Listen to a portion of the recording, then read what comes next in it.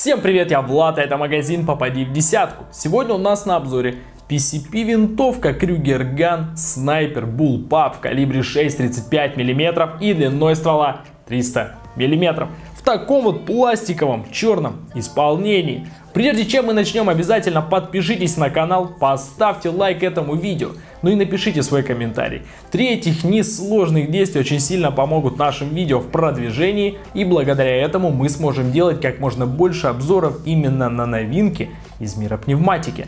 Мы на вас надеемся. Возвращаемся к винтовке. Такая вот винтовка в компоновке Bullpup, конечно же, да, по поводу комплекта все более-менее стандартно, но все же расскажу. Заправочный штуцер, набор уплотнителей и магазин барабанного типа, который рассчитан на целых 11 зарядов.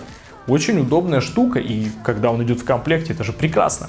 Что ж, ну давайте посмотрим на нее поближе. Погнали! Интернет-магазин «Попади в десятку». Это модель российского производства от компании Gun, которая относится к типу PCP пневматики, где выстрел производится благодаря сжатому воздуху, который находится под давлением в специальном резервуаре-ресивере. Для отслеживания оставшегося давления внутри ресивера на передней стороне изделия установлен манометр. Стреляет же винтовка валанчиковыми пулями калибром 6,35 мм. Для произведения выстрела винтовку, конечно же, нужно взвести. Ну как без этого? Для этого воспользуемся затвором. Он находится на правой стороне корпуса. Итак, оп. После этого винтовка, конечно же, может стрелять. Делать так нужно будет постоянно, потому что стреляет она исключительно в одиночном режиме. Предохранитель находится рядом со спусковым крючком и защитит вас от случайного выстрела. На конце нарезного ствола находится модератор, он же глушитель. Для прицельной стрельбы у винтовки предусмотрена планка Viver 22 мм, куда вы с легкостью сможете установить дополнительное оптическое оборудование. Как вот, ну, например, сделал это я. Но все верно, в комплекте оптика не идет, и ее нужно докупать отдельно. Но это не проблема, и у нас в магазине огромный выбор оптики, поэтому если нужно, то заходите.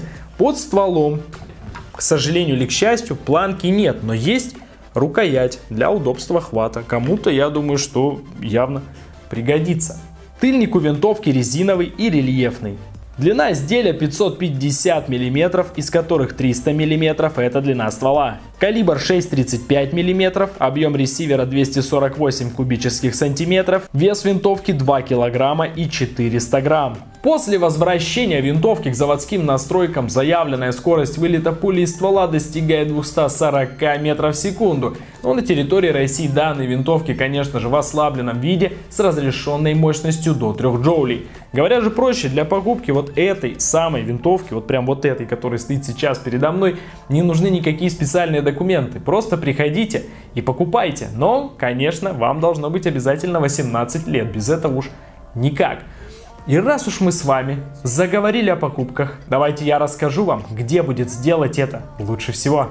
Приобрести этот аппарат можно у нас на сайте и сделать это очень просто. Вам нужно перейти в описание к видео, кликнуть по ссылке, выбрать подходящий комплект исходя из своих пожеланий и оформить заказ в один клик. Быстро и удобно, доставка по всей России. Обзор на эту замечательную винтовку подходит к концу. И, друзья, обязательно ставьте лайк. Если же видео понравилось, подписывайтесь на канал, ну и пишите в комментариях, как же она вам. А может быть есть какие-то вопросы. Задавайте их все там же в комментариях. Я же с вами прощаюсь. Всем спасибо, пока и до новых обзоров.